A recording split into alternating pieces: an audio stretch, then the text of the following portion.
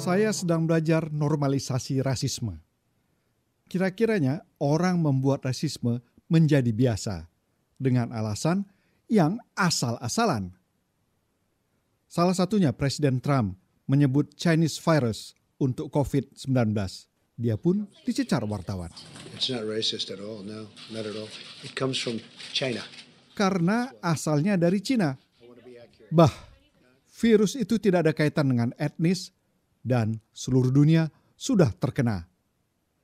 Kalau berkeras dari Cina sebagai tempat, maka analoginya kita berasal dari perut ibu. Tapi kita punya nama, bukan anak perut. Dan ribuan kasus warga etnis Cina Amerika Serikat dihina atau diserang fisik terpicu logika sederhana Trump yang rasis. Chinese virus.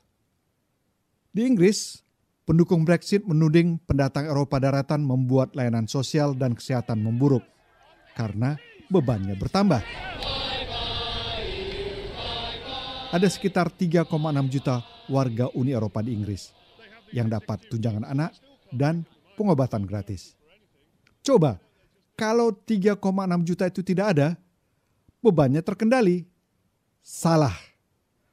Mayoritas pendatang itu kerja dengan gaji yang langsung dipotong pajak untuk tunjangan sosial dan kesehatan. Mereka adalah penyumbang, bukan cuma pengguna.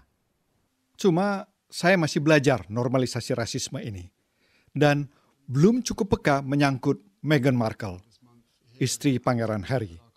Media Inggris kerap mengecam Meghan yang dituduh tak paham tata krama kerajaan Inggris. Para pegiat yakin itu rasisme, walau tak pernah saya dengar dan lihat komentar langsung terkait fisik Meghan yang ibunya kulit hitam. Dalam satu acara TV, ada komentator yang menepis kecaman itu bermotif rasisme. Dan dia yang dikecam habis, menormalkan rasisme. Tapi itulah kepekaan saya mungkin belum cukup. Nah, yang berikut ini tergolong normalisasi rasisme atau lelucon murni.